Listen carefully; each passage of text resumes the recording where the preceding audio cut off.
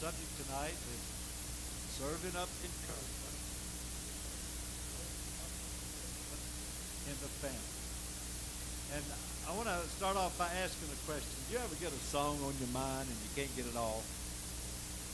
Yeah, sometimes it's not always a church song. Is that right? What's on your mind tonight? Home, home rains. Everybody know that? Home, home on range. Home, oh, give me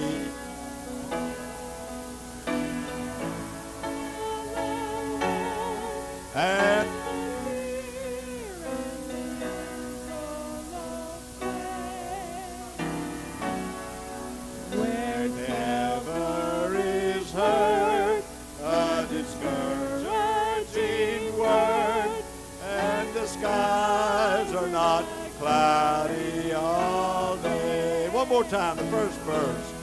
Oh, give me a home where the buffalo roam and the sky and the antelope play,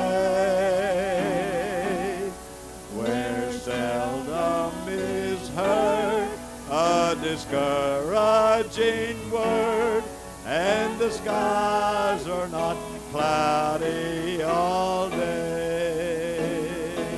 Now, did you notice that third? Did you notice that third line says, "Where seldom is heard a discouraging word." Wouldn't you like to live in a home like that? Hallelujah. Now that sounds like it may exist only in fantasy land out there where the deer and the antelope are playing. That's too idealistic, isn't it? What we need, though, is not some faraway blue sky or some faraway range. What we need is such an atmosphere right here in the church. Hallelujah. So I, I want to make some new words to that song. I want you to listen to it. I'll sing the first, and you can join in after the second time. Oh, give me a church where folks in the lurch are encouraged, then healed from above, where seldom is heard discouraging word, and the truth is modeled in love. Let's try. Oh, give me a church where folks in the lurch are encouraged, then healed from above, where seldom is heard a discouraging word, and the truth is modeled in love. Oh, one more time. Oh, give me a church where folks in the lurch are encouraged, then healed from above, where seldom is heard a discouraging word, and the truth is modeled in love. Well, praise the Lord. Hallelujah. Let's give the Lord a hand praise tonight. Hallelujah. Hallelujah. Praise the Lord. Well, have you ever been to a church like that? We need one like that because we live in a world that is putting people down, finding fault, and discouraging people. That's the kind of world we live in. And so we need a church where you can find encouragement. Hallelujah. Hallelujah. We need a church where you can find encouragement and strength.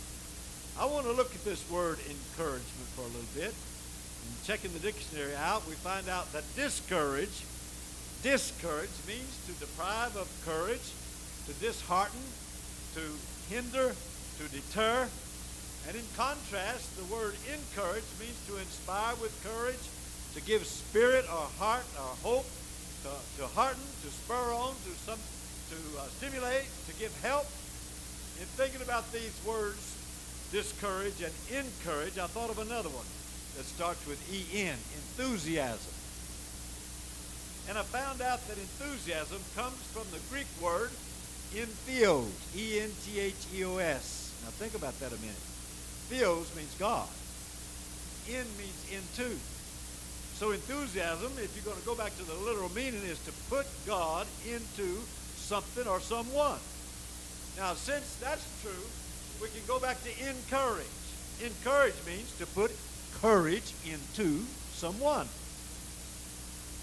You might be surprised, you might be surprised who needs encouragement. I read a story that came from Sports Illustrated about a 20-year-old boy named Brian Heimer.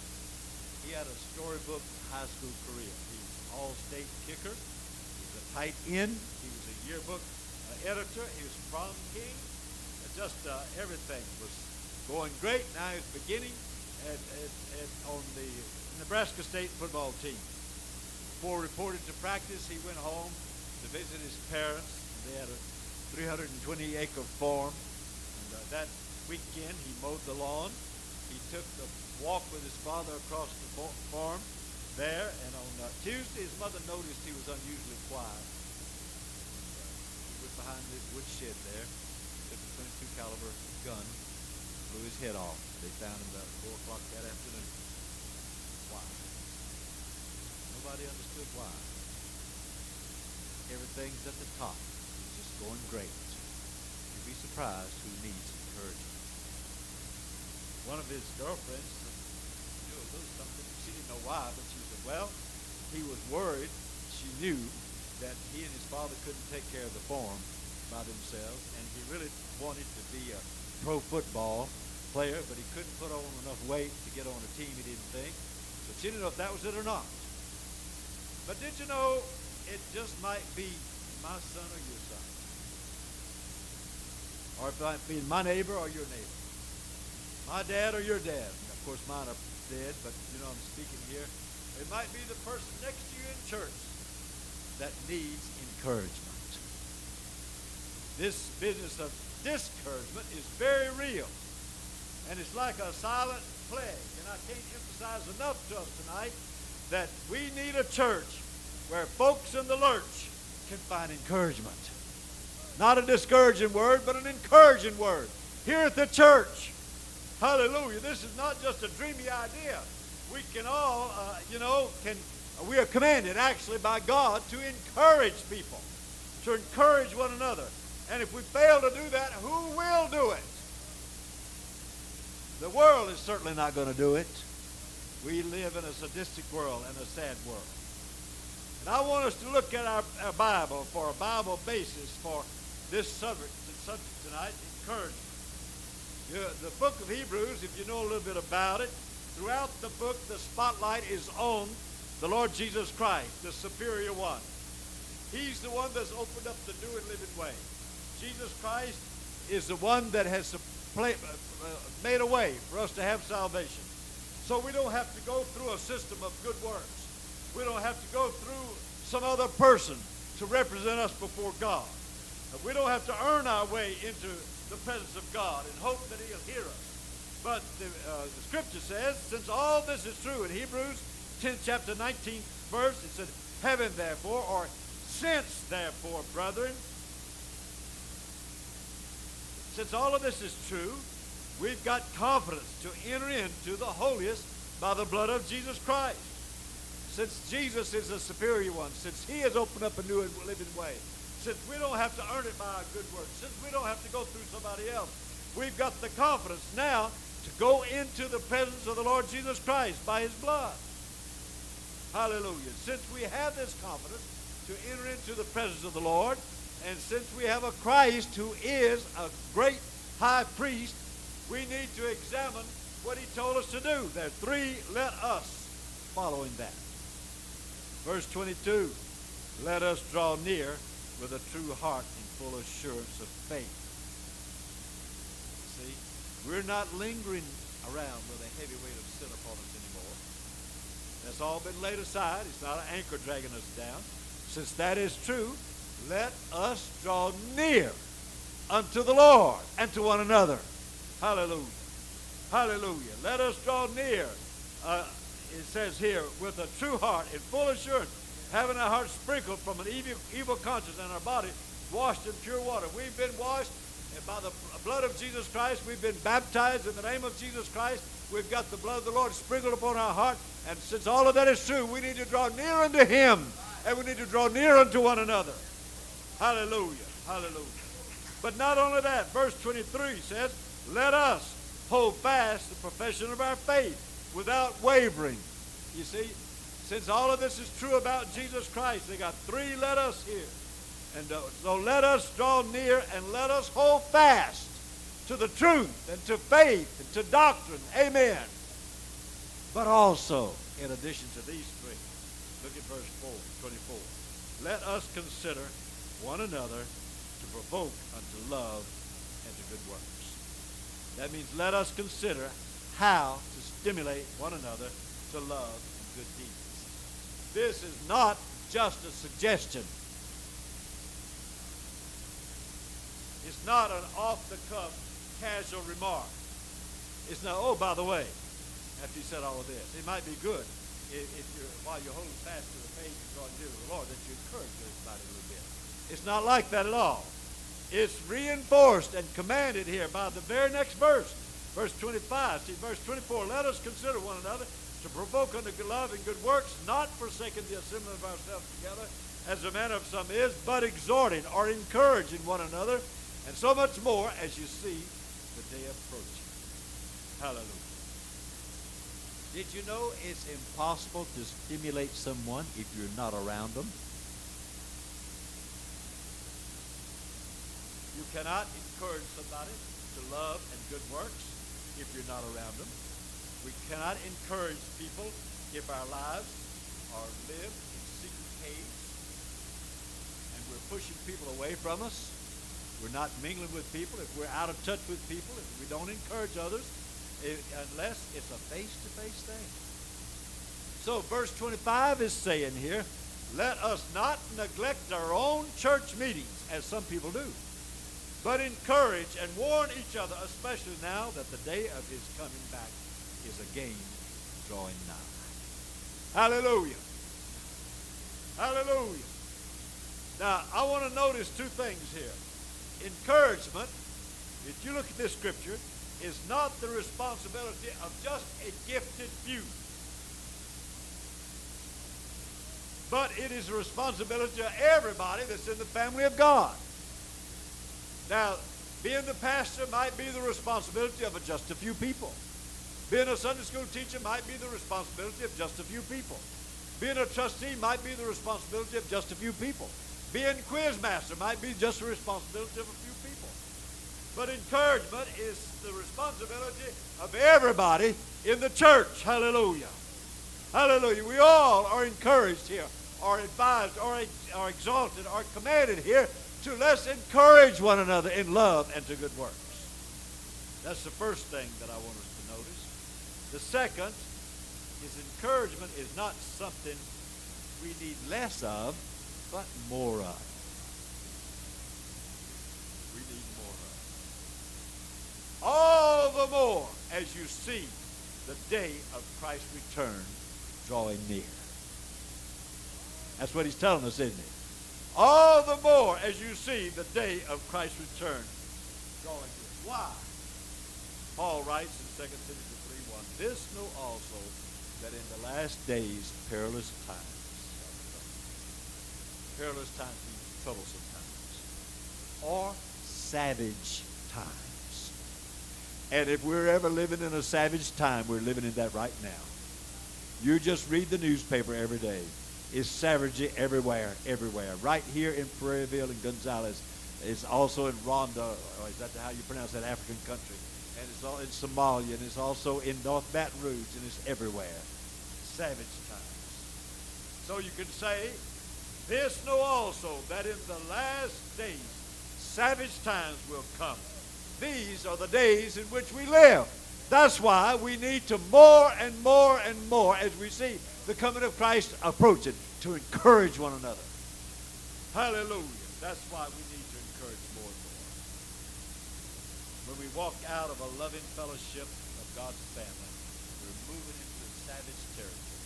When we walk outside of the doors of this church, you're moving into rough areas, And and we're, we're threatened. We're intimidated. So God's people needs to turn on the encouragement. Turn on the encouragement. Hallelujah. Hallelujah. Hallelujah. The church of God and the family of God is not a place for verbal put downs. It's not a place for sarcastic jabs. It's not a place for critical comments. It's not a place for harsh judgments. We get enough of that from the world.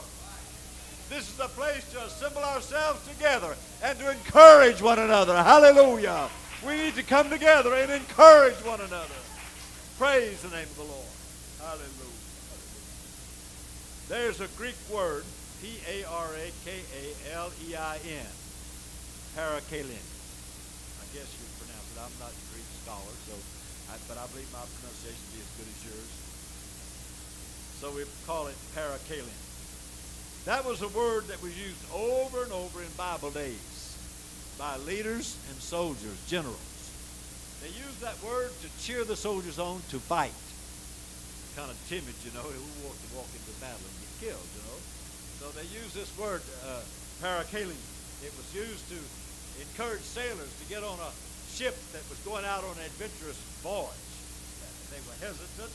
They were sailors were hesitant. Soldiers were hesitant. So this word parakalin was used to encourage them to go on. Now coming off of that word is another word, para, parakletos.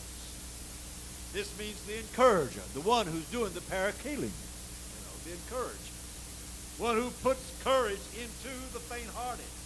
This parakletos is one who nerves up the feeble and gets them ready for fighting or gets them ready to do something that is extraordinary. Now, you know in the Bible, the Holy Ghost is called what? Go back to your Greek now. Huh? How you pronounce this, Bernard? Paraclete. It's the same word. The Holy Ghost is an encourager. One called along aside to encourage. We've all received the baptism of the Holy Ghost. And the Holy Ghost encourages us. And with the anointing of the Holy Ghost, we need to encourage other people. Cheer them on. Send them out into the fight against the devil. Hallelujah. Those that are timid and weak. Hallelujah. Those that are standing before opposing forces. Lift them up. Encourage them. Who makes us able to, to, uh, uh, to cope with life? It's the Holy Ghost that dwells within our heart. And this Holy Ghost also gives us the power to encourage other people and other people in the church. Praise the Lord. That's the word that is translated in our Bible, encouraged. It's in Hebrews 10, 10 25. That word is used, not forsaking our own assembling together as a habit of some is, but encouraging one another, is what it says. There was a blind songwriter by the name of Ken Medema.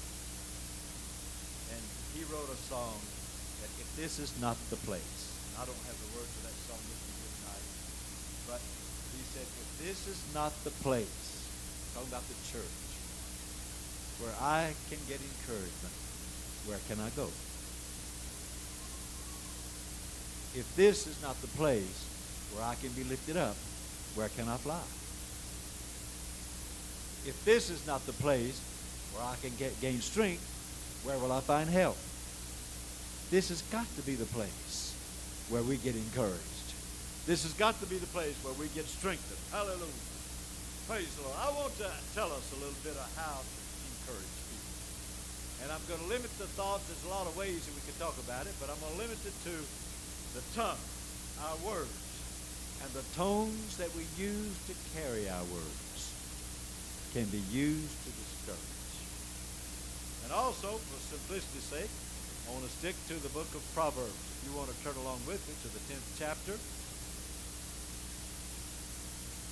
We're going to find out how to encourage people, since that's what we need so much.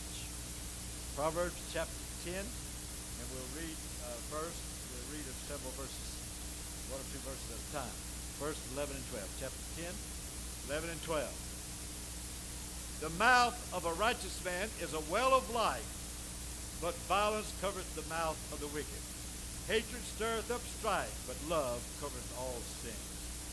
You notice how powerful the tongue is and the mouth is? The tongue is an instrument of forgiveness. It has the ability to conquer or conceal violence. It has the ability to cover up transgressions.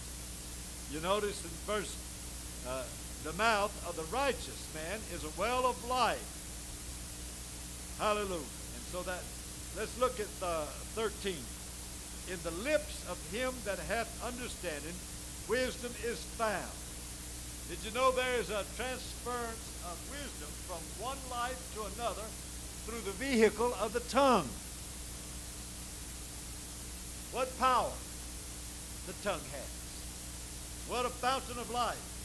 It's an instrument of forgiveness, and it's also an instrument of concealment of violence.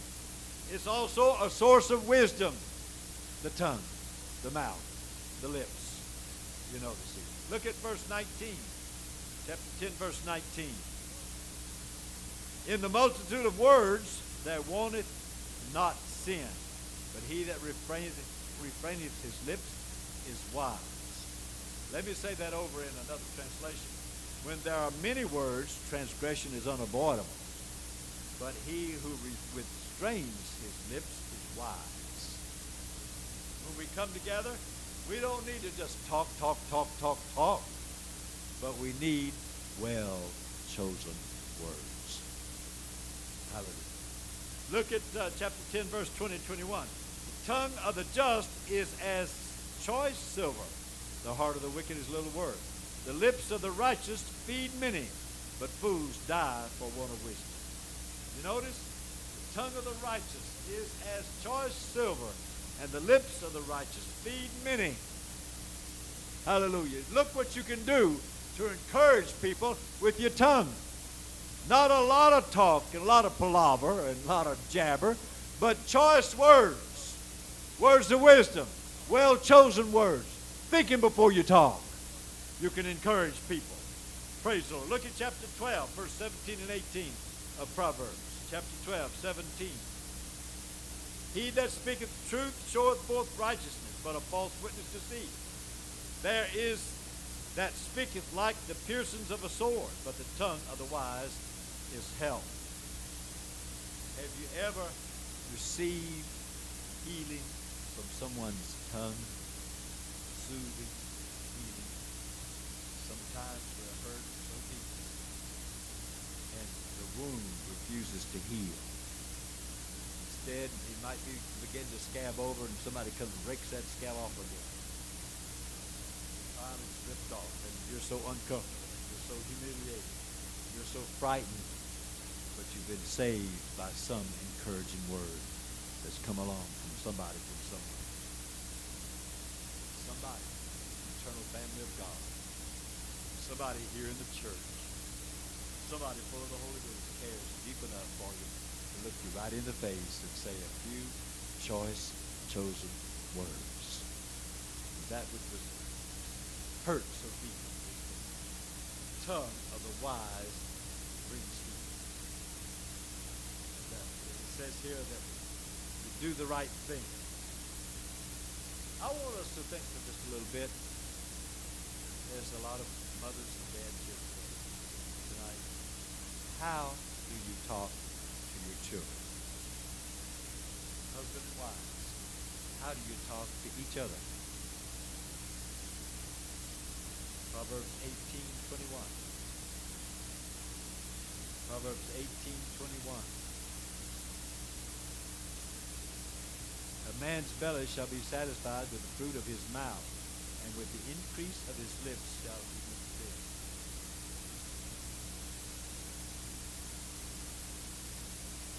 Sometimes fathers will talk to their kids like this.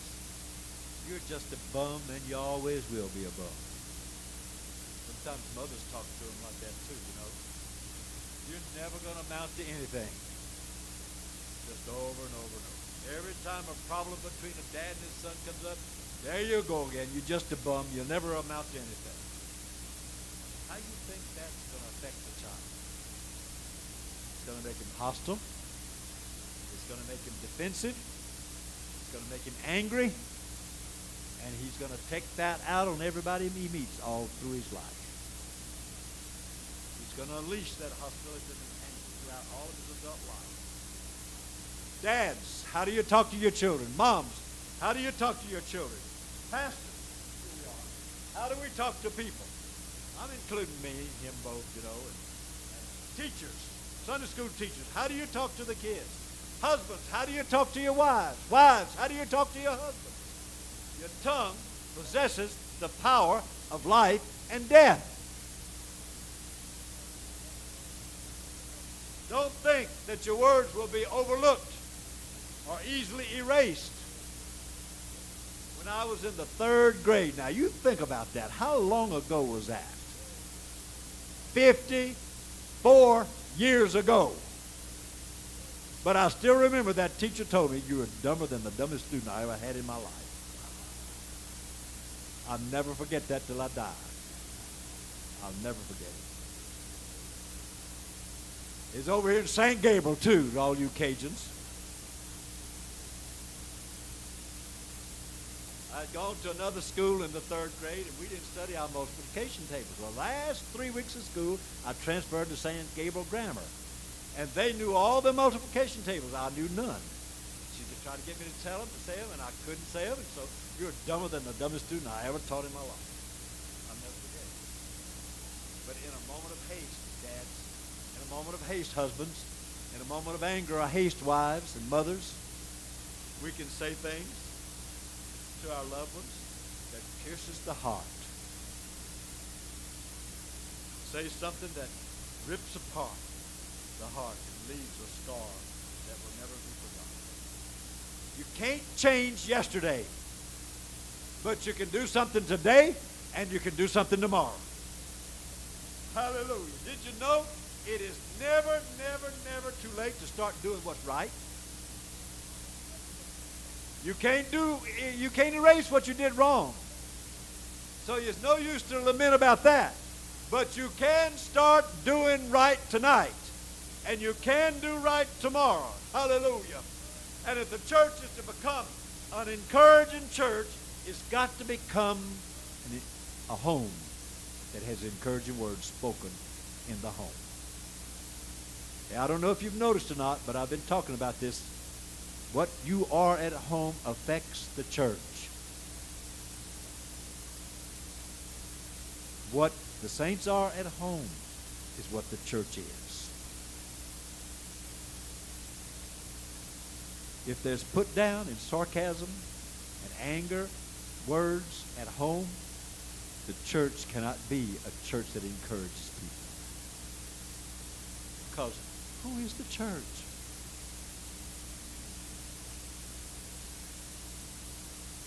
So I want to ask you, is your home an encouraging Let's suppose that I was an invisible guest. You didn't know I was there. What would I hear? Sarcasm, put downs, caustic remarks, or good job. You're growing up. I love you. Hey, that's nice. I appreciate that. What would I hear? Oh, I understand. You made a mistake, but I'll help you with it. Death and life are in the tongue. Power of the tongue. Death words destroy. They hurt.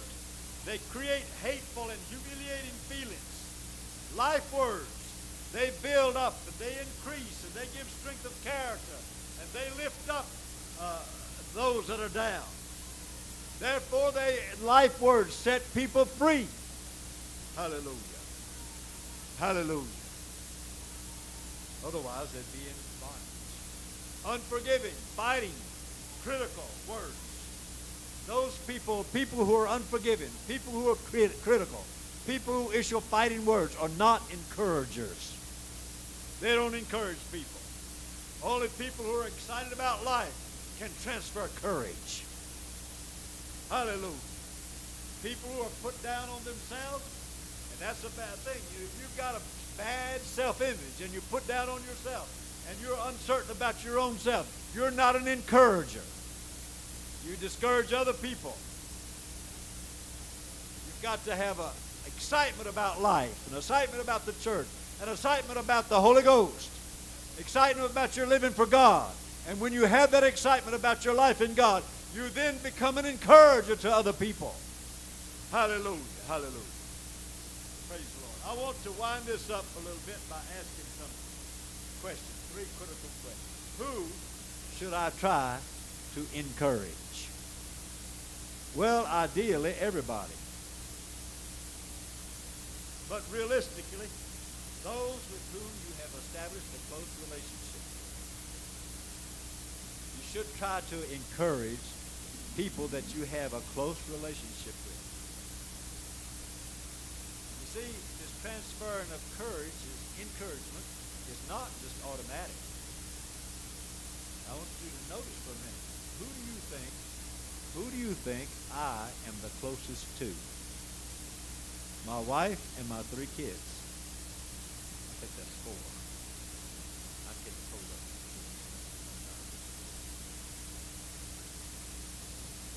But listen to this. Who do you think gets the least encouragement from me? Wife and three kids. That's awful, isn't it? Well, am I the only one? Who should you encourage or try to encourage? The people whom you have a close relationship with. Your closest relationship, I would presume, is your spouse and your children. And many times they get the least encouragement from you. I believe we need to work on this encouragement here. It's a Bible command. I challenge you. Start tonight and tomorrow to do something with your tongue and your mouth. I mean in sincerity to encourage your husband or your wife or your children. Don't put them down. Don't be sarcastic to them. Don't make them feel humiliated. What? Encourage. Encourage. Don't wait for them to hint for an encouragement. I don't get in the car and say, Sister Bernard, how was the message tonight? You know?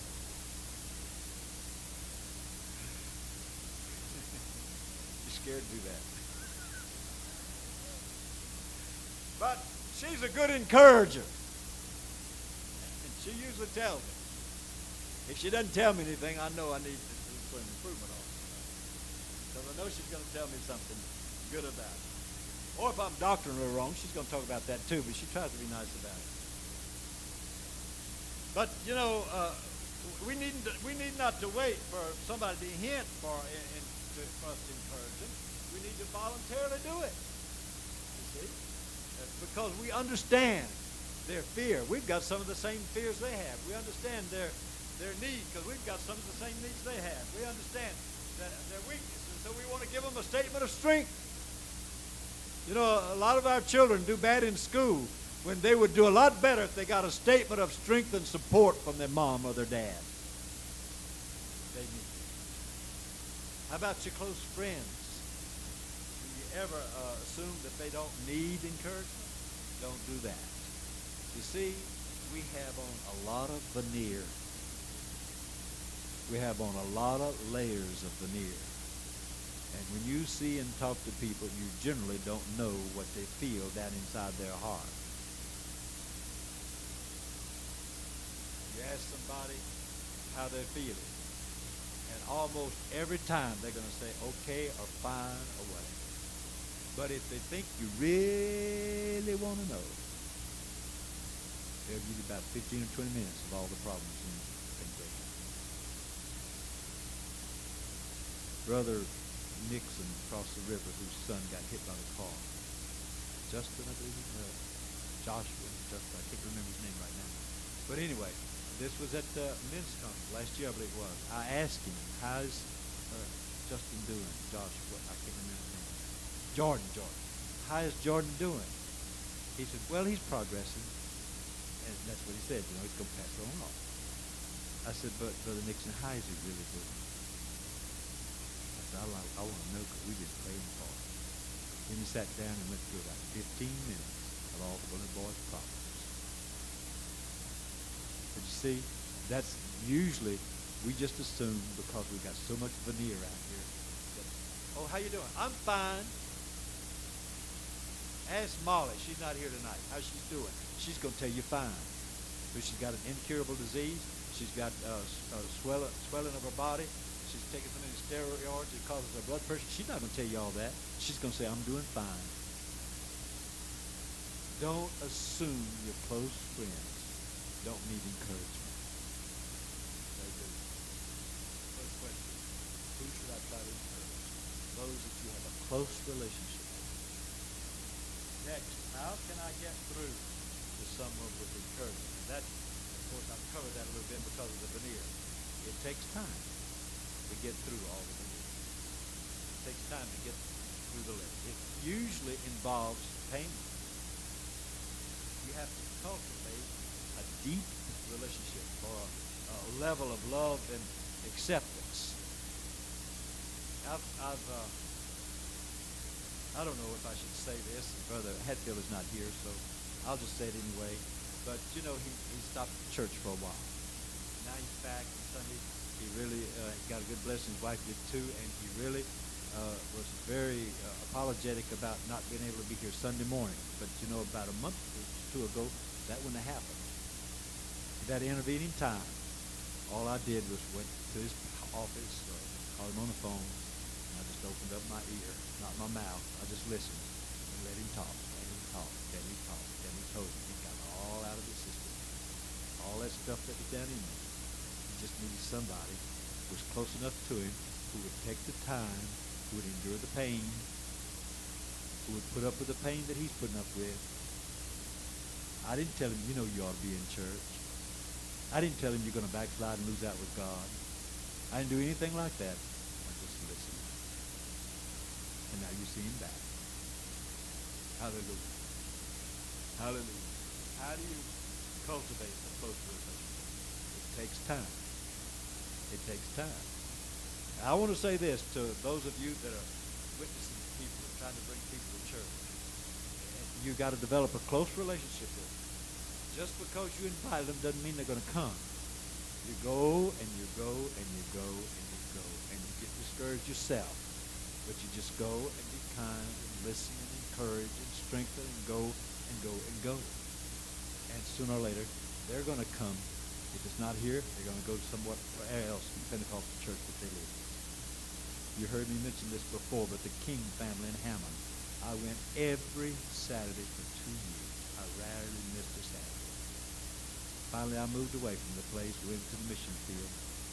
But some 25 years later, one of the members of the King family came found me in Jackson, Mississippi.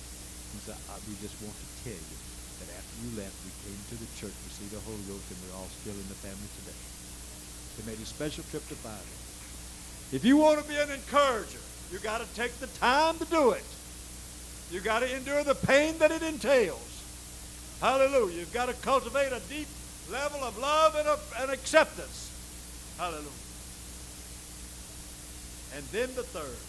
What is the essential techniques that you need to remember? Don't talk to so much. Talk less so you can feel more. Be sensitive to timing. Some of us have no sense of timing. We just blurt out, you know? But you've got to be sensitive to timing. You have to give some attention to the wording. You can't judge or preach. Don't judge them. Don't preach to them. No sarcasm. Examine your motives. You can be an encourager, if you will. I'm going to repeat those things.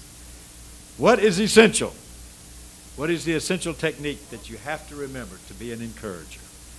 Talk less so you can feel more. Be sensitive to timing. Watch your words. Choose your words carefully. Don't judge or preach. No sarcasm. Examine your motives. Shall we stand? And I'd like for our home on the range pianist to come.